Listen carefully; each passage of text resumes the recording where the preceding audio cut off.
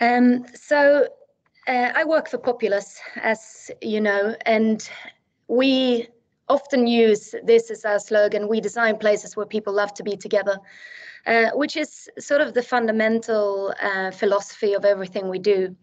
It is, however, very ironic in this our current situation, right? That uh, we usually think of this being together as a as a physical uh, environment where where we meet. And a lot of our projects obviously are stadiums, but I think we need to widen how we think about being together. And today is a great example of that. That actually the pandemic has forced us to be together in in many different ways and.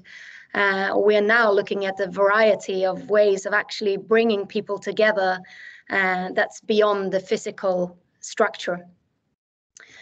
Populous, we do uh, architecture, as as we've mentioned. Uh, many of uh, large stadiums that you've probably seen across the world. One of the projects that I've been involved with most recently is the new Tottenham Hotspur Stadium. Uh, but anything from uh, Wembley to to Yankees to uh, T-Mobile Arena in in Las Vegas.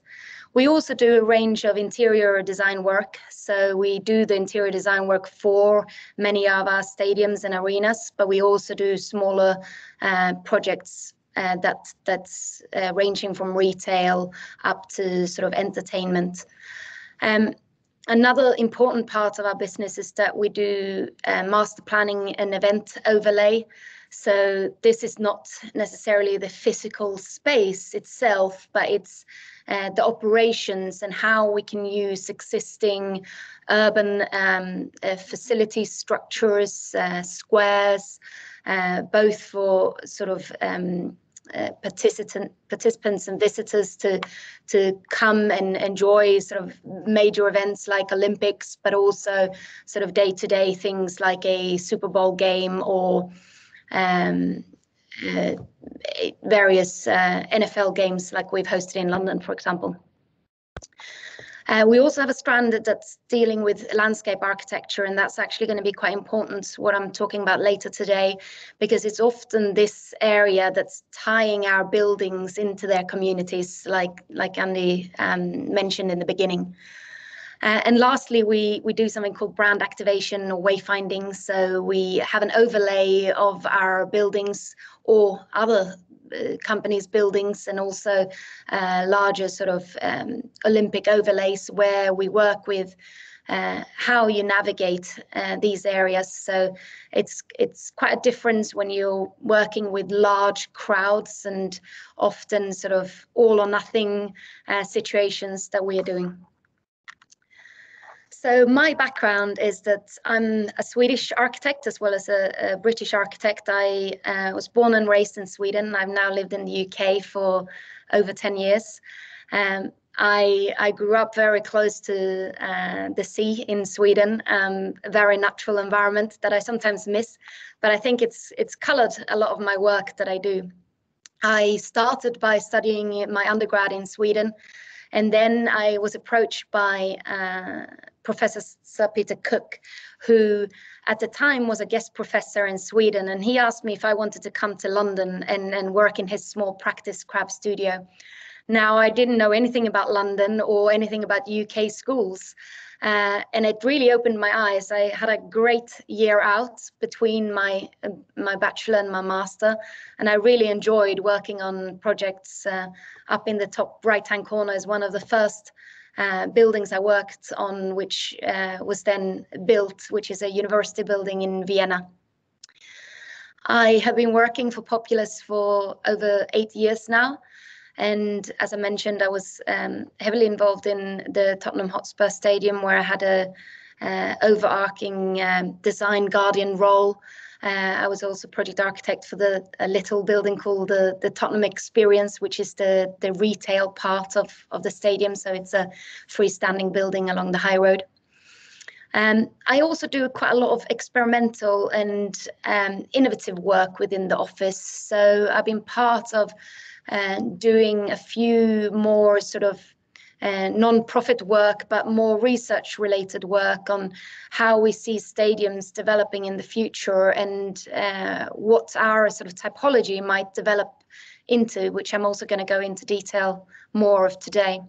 And the last uh, project here as well is uh, a big arena. So we we both do stadiums and, and arenas. So uh, I I added that project because I think it's quite interesting to to see an entertainment um, model that goes beyond sport, which is uh, something that we deal with every day in our office.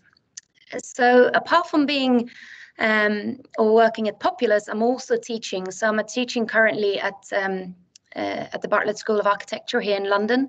I've been teaching for over seven years. Um, I, I, started teaching at Oxford Brookes uh, University, and I've throughout my seven years been teaching undergrad, so second and third year students. Uh, and I love that part of of sort of my career. I think it's really important for um, for us to to really connect the the professional world with the academic world, and I see a great benefit both for myself but also for the students. I think we've probably hired over between 15 and 20 of my past students in the office. Um, and I really, really enjoy working um, with the students from their part one up to, to later in the careers. And I think the mentoringship that, you, that you're doing is a great way of um, really connecting um, academia and, and profession uh, more.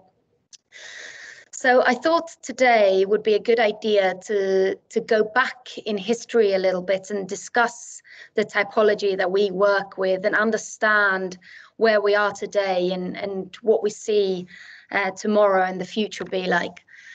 So um, many of you are probably uh, very familiar with, with large uh, historic stadia like Colosseum. Um, and I think it's interesting to see where throughout the years sort of big markers has changed how these buildings and also how our behavioral change has uh, uh, behavioral change has sort of changed um, the architecture around stadiums, arenas, and event buildings. Um, this historic timeline, which I'm going to go into the markers in more detail, uh, really show you that uh, from from the Colosseums, which are historic buildings, there was a massive gap of 14th centuries essentially where none of these buildings were built mainly to do with uh, christianity's uh, uh, sort of influence in in europe uh, but also the us and then uh, really the starting point for these buildings again came with the olympic revival in 1896 so if we go back to see these historic stadium buildings, uh, they were uh, often designed in urban contexts. They were big mass entertainment buildings to serve the people of these urban environments, uh, to make sure that they they had something to do, distraction, entertainment. That was the core purpose, which is very much uh, similar to today. Because also they they were uh, driven by an entertainment and sort of uh, leisure uh, premise. Maybe that's also why these buildings were then not built for 14th centuries.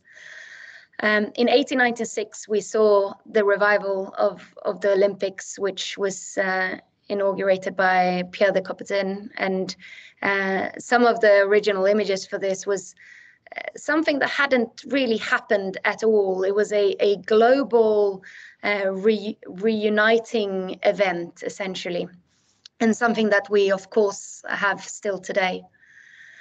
Um, then what we are seeing is that uh, more smaller um, local, regional, national events started popping up mainly in in football uh, here in the UK. So uh, we often refer this to an engineering marvels uh, uh, generation, where um, large, uh, again, urban often buildings, but perhaps also suburban, but highly knitted into their uh, context. So in this case, you have Huddersfield on the on the left, which is the, the Leeds Road, and then Tottenham Hotspurs Football Club um, on the right, which was um, uh, built in 1932, I believe they they are buildings that are very much part of their community.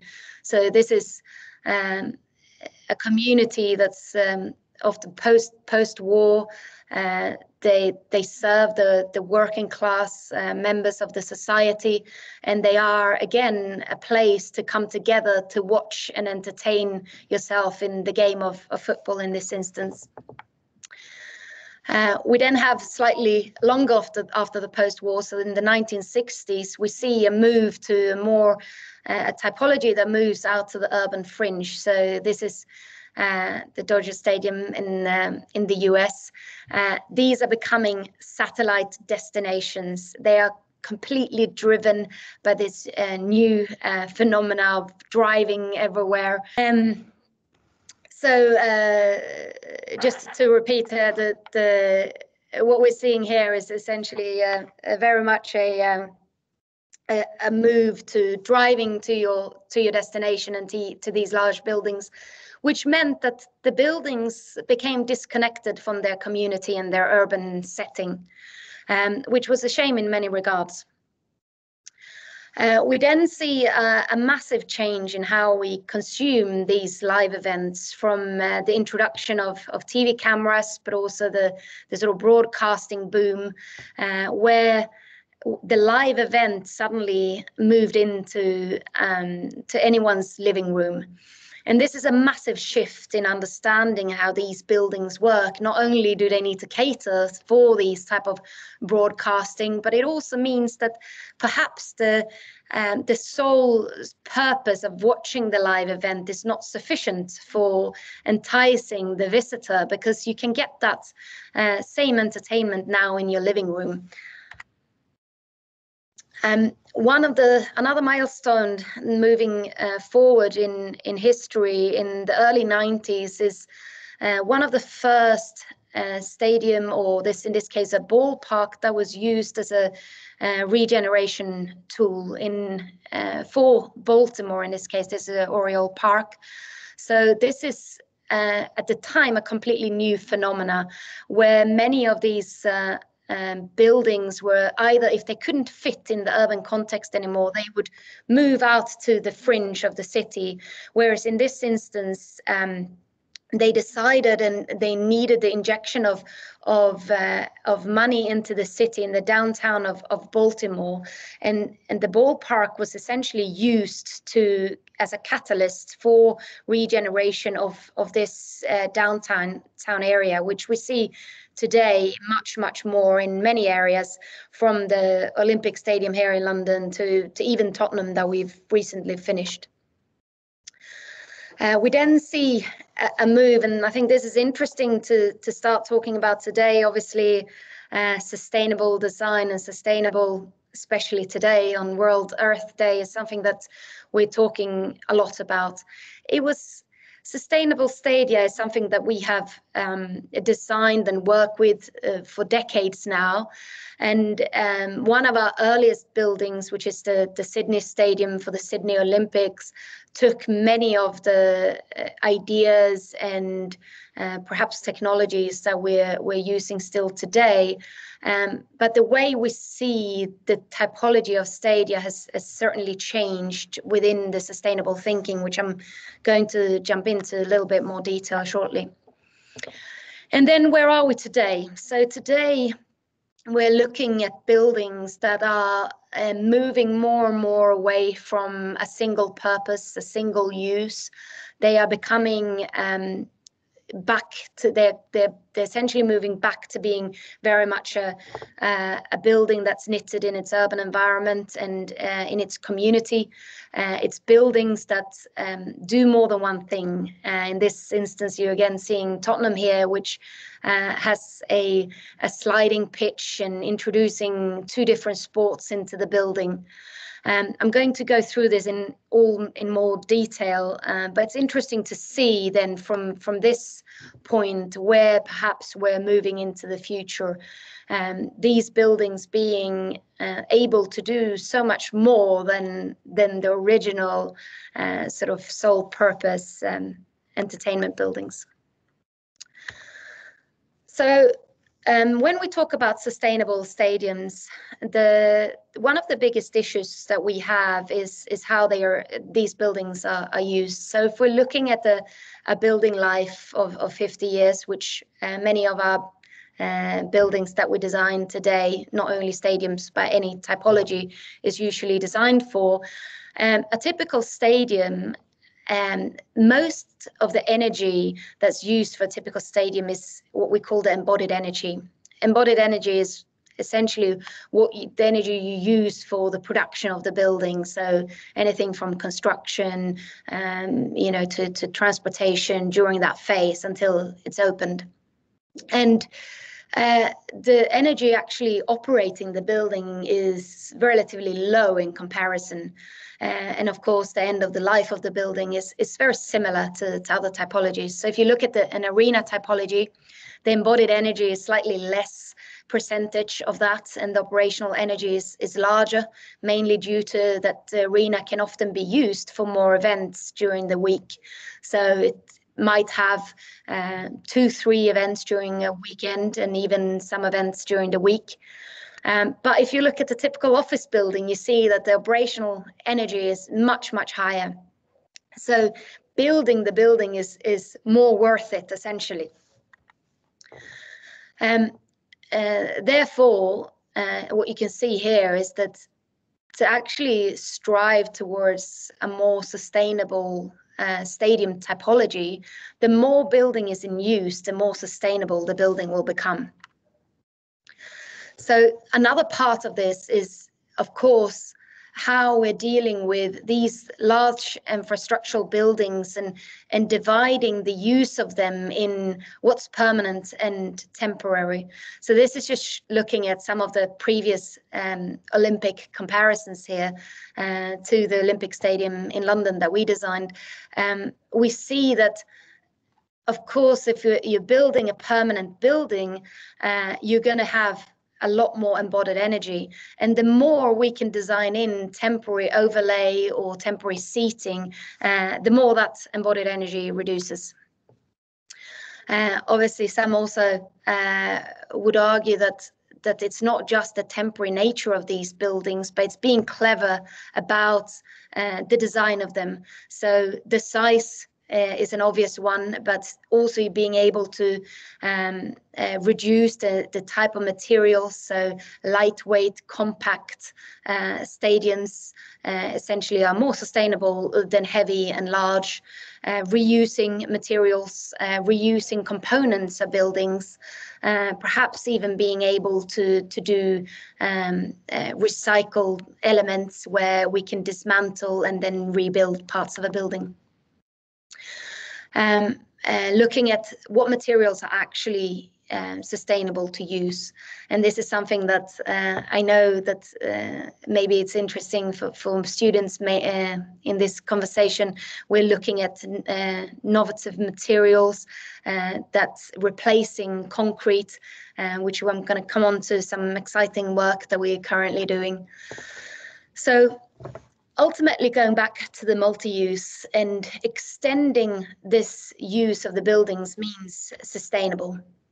So when we're looking at uh, sustainability in our buildings, we're not only use, looking at the environmental side of them, we're also looking at how to make sustainable social uh, environments, how to, to make this sustainable economically, because ultimately, if we can't showcase how a building is sustainable from an economic side, it's unlikely to become sustainable from an environmental and social side.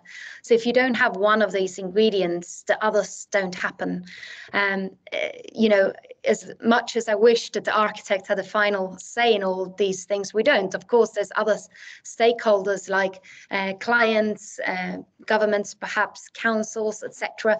And it must make sense in all these three categories uh, for our buildings to become sustainable. So uh, the next part of the, the presentation, I'm going to break up in a more scale factor and, and show you how we're dealing with these stakeholders in various scales through the work we're doing.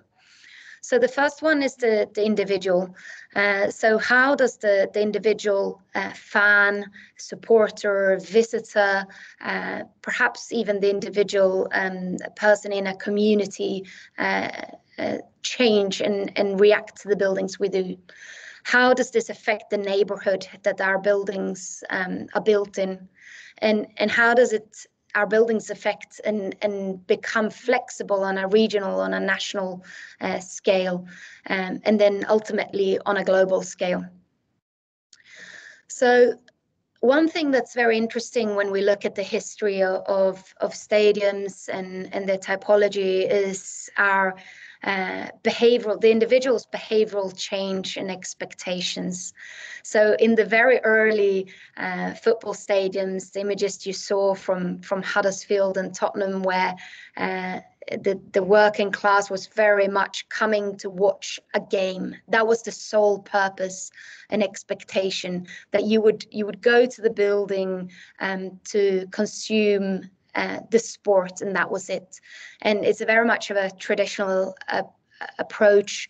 Uh, baby boomers are expecting to spectate, to see a game, and that would be um, sufficient in their expectation what we're seeing now is is generation x millennial generation generation z is is much more looking to participate um, so this uh, these generations essentially have been growing up uh, consuming sports and events in a completely different in a completely different way um, Gen Z expect higher quality of content interactive opportunities, i.e., participate rather than spectate, and the overall entertainment experience which in part comes from higher awareness and knowledge um, and not short attention spans that's that's often sort of blamed to, for uh, gen z generations uh, and this is a really important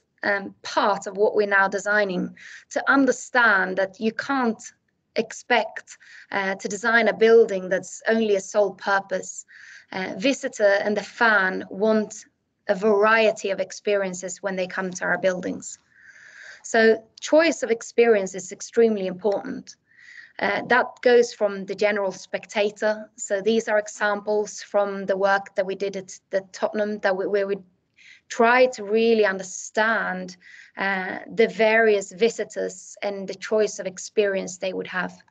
So you would have a, a, a GA, as we say, like the, the, general fan, the supporter, they have very different expectations to perhaps someone in a more premium um, uh, visitor uh, to sort of more corporate club visitor, uh, hospitality, and ultimately the sort of premium premium of this. So when we're looking at designing buildings, we need to make sure that, that we cater for various experiences. We also need to cater for the idea that watching 90 minutes of football might not be um, the sufficient approach of, of consuming a game anymore. Uh, especially Gen Z is, is so um, used to being able to consume things through your phone, um, highlights, much more quicker pace, uh, perhaps even more like um, a wider wider sort of experience of it in the sense that you get get statistics you can read you know how many of us don't sit and google while we're watching a game right? Or while we're watching uh, you know any tv program. Like we're we're used to being able to get this variety of knowledge input constantly. So this idea of of watching a game without watching actually doing other things while you're watching is a very interesting new phenomena that we see in many of our buildings whether it's like actually being in a hot tub while you're watching the game or you're experiencing almost like a uh, uh, another level of uh, sort of thrill by being in in one of those cranes above a stadium, or if it's a uh, more of a sort of party deck atmosphere where you might see glimpses of the game, but it's more about actually being in an atmosphere, being part of a uh, of a wider sort of experience rather than just the sole focus on the 90 minutes or the, you know whatever time frame it is depending on game. It might also be that it's a more technology driven experience. So, uh, again, uh, going back to the statistics in your phone, being able to perhaps even participate or uh, uh, impact the game. So, uh, and, and really feeling the game. We've seen a lot of technology today that either uses an overlay, so the from the Google uh, goggles, where you might be able to simultaneously watch a game, but then getting the statistics in one filter in in front of your eyes, as well as uh, sort of a tactility or a sense. There's um, there's technology now uh, exploring uh, wearable tech. So you might uh, imagine a player being able to wear a, a top that um, that that uh, essentially um, monitors the heartbeat. That that heartbeat is then uh, you know driven out to the spectator in one or another form that you can feel the this player's heartbeat physically in your own seat. So you're directly connected to uh, the individual on the pitch. So for the general spectator the the science of atmosphere i think is still something that is going to be extremely important. Um, we uh, we see that the sort of sense of community within the building is extremely important. And therefore, the, the senses that we use to experience this atmosphere, so whether it being sound or the vibration of the heartbeat, uh, is becoming uh, more and more sort of something that we are we're striving to, to really enhance and uh, amplify in our buildings. So uh, for Tottenham, for example, we we used uh, we work uh, with other companies that are specializing in this. So in this case, we work with a company called Vanguardia, who are um, experts within in sound and uh, noise and being able to amplify the fans chanting here was um, one of the main purposes of, of the sort of shape and form of, of the roof and the building to really get that um, uh, football uh, experience to the max.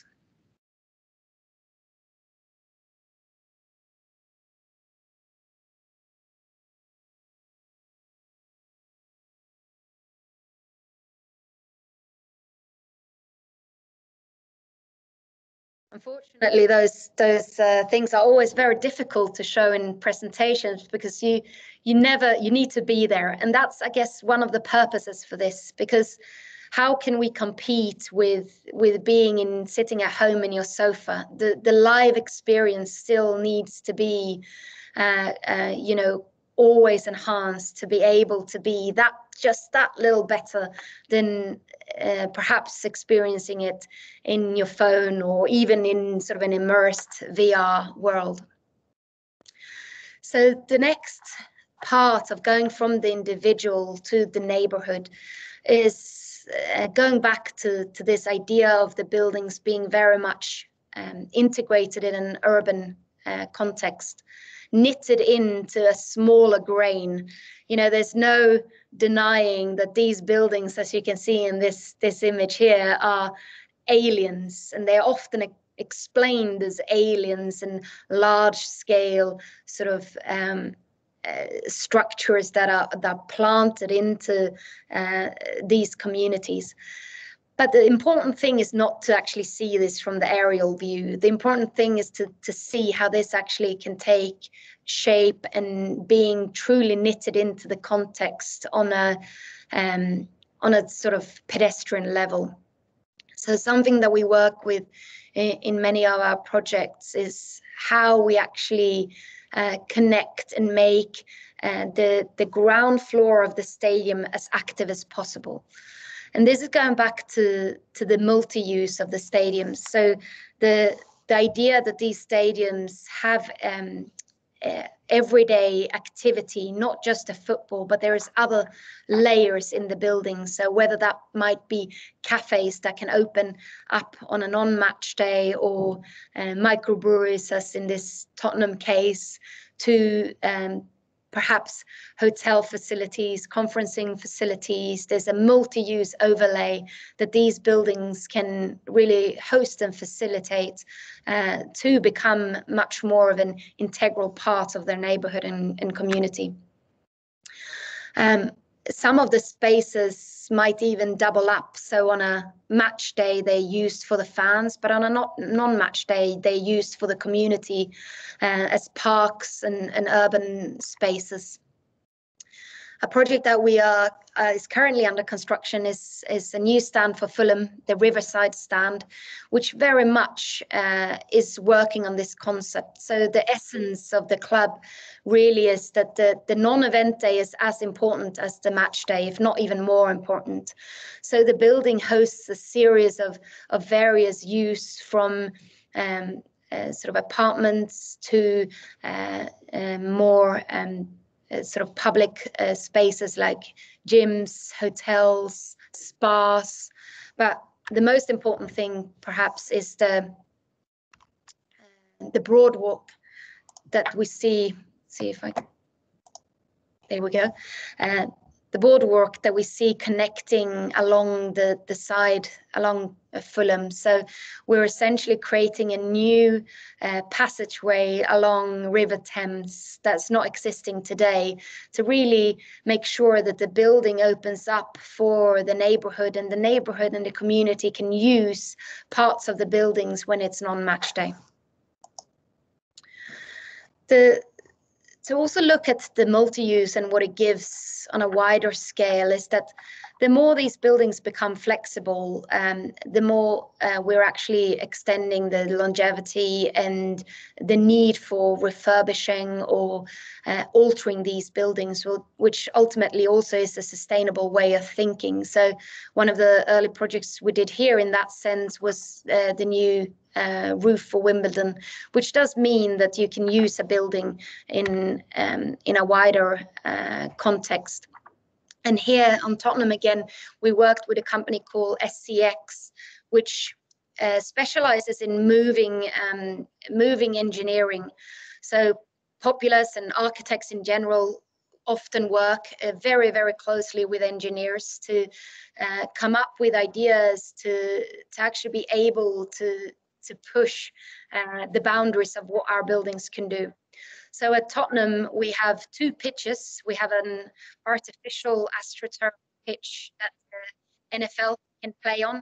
Um, and on top of that, we have a, a, real grass turf pitch that sits in a tray and can be rolled out uh, when the NFL is there to play. So essentially, it's a, a true flexibility for the stadium, which means that we can increase the use and we can increase uh, the amount of days of the year that the building is actually operational, which essentially then leads to a approach overall. And going to skip through this, this bit, so um, uh, I'm aware of the time here. Um, this system was um, tested heavily uh, uh, on a satellite site before we installed it in the stadium. And it's uh, it's interesting when you do completely innovative work, uh, the amount of of um, planning and um, testing that goes into it. It actually um, was over a year of testing before uh, the final piece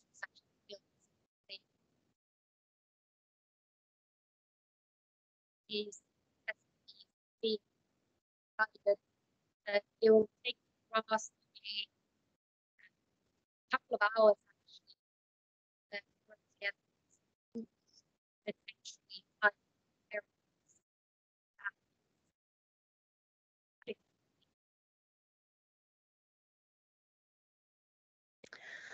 So if we uh, look at a more global perspective and and what we are doing in our buildings and what we are actually researching uh, at the moment is uh, how we can use materials and innovative ways of uh, reducing our footprint, perhaps even uh, start being able to do completely carbon uh, zero buildings. And this is a competition uh, that that a few people at Populous have done for a new site for Burning Man Festival in the US. Uh, it's called the LAGI 2020 Fly Ranch uh, Design. This was a competition that's still actually ongoing. We've been shortlisted uh, with, I think, nine other uh, competitors. And the interesting part of this project is that we're exploring to use a material uh, that's called Ferrock, which is a material that's a actually negative carbon emission. So it's using recycled um, iron, recycled stone uh, to be able to uh, cast a new form of concrete. So being able to to look at uh, ways of innovatively using materials that have the same strength and capabilities of concrete and steel that obviously most of our buildings are formed of.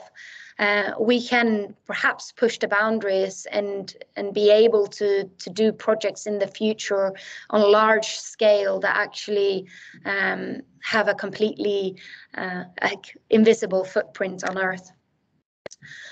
Um, the, the other part of this is, as WHO sets out, is that healthy environments create a healthy population. And that's something that's very important uh, when we design our buildings to actually look at how our spaces can become more healthy. So, being connected to natural environments, bringing in uh, green and the nature into our building, obviously, not just in this case, but actually also in stadiums, um, is something that, that we're trying to push uh, I'm going to finish on uh, this image that we did in a collaboration with the National Geographic. And National Geographic came to us a couple of years ago, actually, now asking if you can envisage a stadium in the future, what would you do? And there is no such thing as one stadium of the future. I think there's going to be stadiums of the future, right? Like men, they're going to take many different shape or forms, but in this, we image here, ultimately we try to combine lots of different ideas into one. So we started to look at a completely self-sufficient ecosystem that the, the stadium were um, serving completely its own function, but also perhaps contributing to both the community but the planet overall. So stadiums uh, and arenas have the typology takes a large footprint. So they do have the capacity to use things like rainwater harvesting uh, solar panels. That's things that we see in our current buildings that we're designing.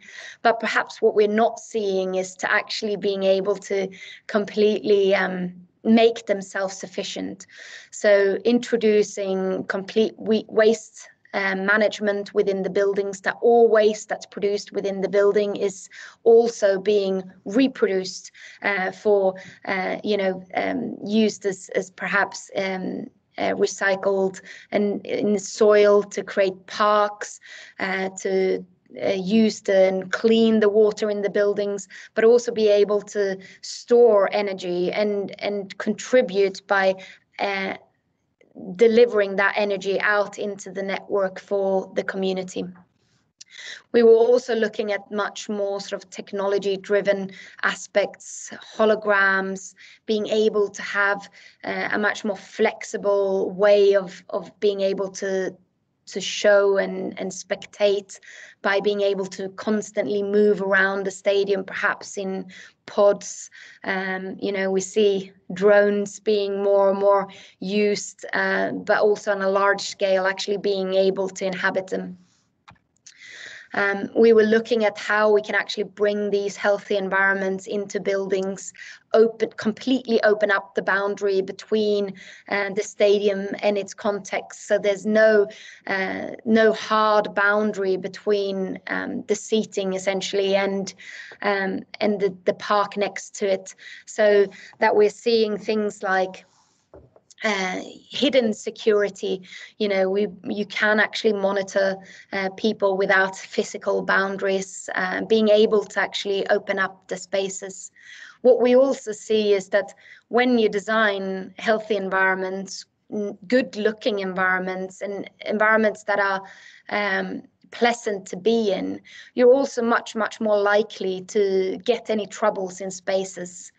So historically, we know that um, the, the away fans area, so visitors that are not necessarily in their home arena are likely to perhaps not treat uh, that stadium very well.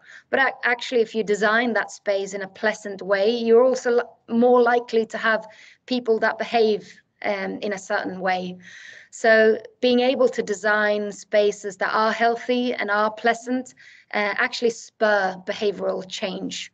And that's something that you can see in um, in our ways of thinking about sustainability as well.